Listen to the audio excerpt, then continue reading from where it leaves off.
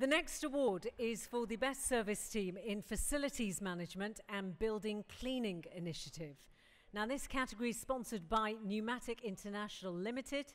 To present the award, would you please welcome Guy Tudgay? Let's have a look at the finalists for this category then, and they are Birmingham City Council.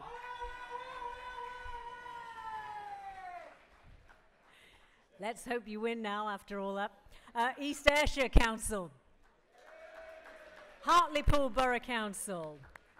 Neath Port Talbot. Shropshire Council. And Telford and Wrekin Council. So, Guy, who's won, please? Ladies and gentlemen, the winner of the APSE Best Service Team of the Year for Facilities Management and Building Cleaning Services is...